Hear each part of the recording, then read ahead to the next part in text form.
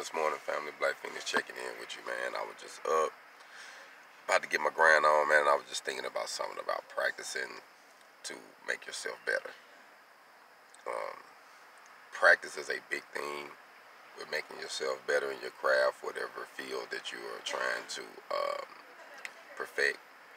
But also, you need to have someone who can show you what your error is, show you what you need to work on.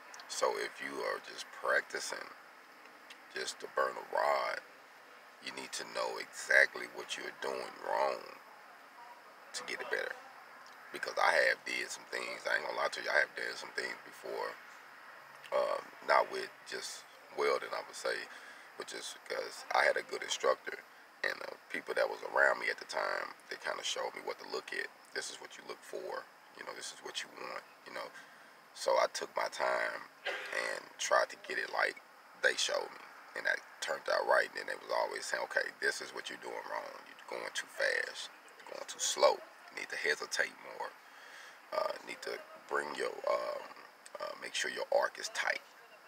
So there's a few different things, man, that that you have to look out for to get yourself better. But you also want someone at least behind you while you're practicing or someone who know what it's supposed to look like or even know yourself go get the information you need. So that way when you're practicing you're making progress. Because practicing is great but it's just like anything else. You know they say practice make perfect but they practice the principles that's already perfect to make them better. So if you're just going and going you can burn and burn you know. Like i met a guy who'd been welding for a minute and he always had a um, a niche at doing certain things a certain way, and I was like, hey man, you know you can't do that this way. And he was like, really, I never knew that. And I was like, yeah, you got to do it like this. And once I showed him, he ran through it.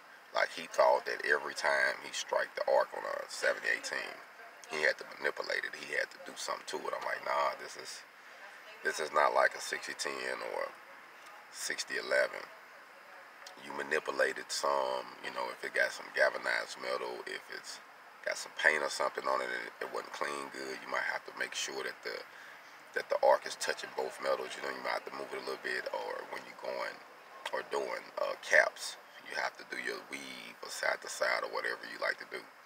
But majority of the time, if you got everything right, if you're just trying to run a flat pass or a vertical pass, you just need a feel, you can just keep it still just float it all the way up. Maintain that nice gap.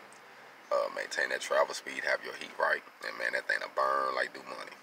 But uh, just wanted to say, man, you know, when you practicing, you know, get the information needed or have someone in your background or in your corner who can point you in that right direction to say, okay, this what happened. This is what you should work on. You got this down. You just need to work on this now. And that's, you know, comes uh, with being a I ain't gonna say we're being a good instructor or we're just uh, knowing how to seek, you know, knowing what you're seeking for. Like, don't be scared to ask somebody for some guidance. Like, hey, I need mine to look like this, or how do I get mine to look like this? What am I doing wrong? So that's a big question, I guess you have to ask yourself when you, you know, installing something or whatever the situation is, rigging it. You have to ask yourself a question: What am I doing wrong? And then just fix it.